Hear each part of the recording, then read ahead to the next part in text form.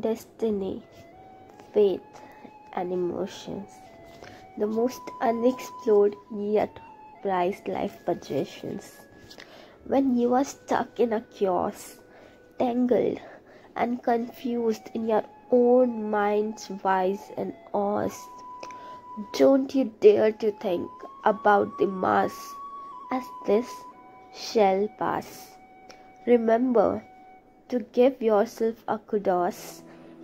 Complex is turning into simple by your cosmos. You're always a warrior, my dear. Then why there is a moment of fear?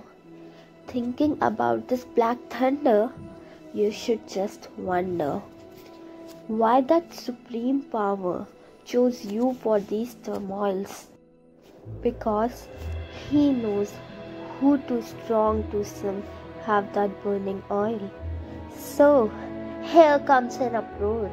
We are the fighters with our emotions no longer in store.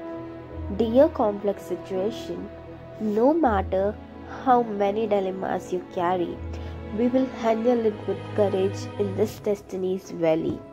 What we are proud is we are figuring it out while making super cute pouts. And we know that from the haze come most beautiful days, most beautiful days. A Year later, sitting under our favorite sky, when we no longer wait for RWH replies, just smiling with gratitude and contentment that we finally cleared the clouds of disappointments and kept our pinky promises of finding the stars and our missing pieces. Because that's how it was designed to be. Because my faith says this is how it is meant to be. This is how it is meant to be.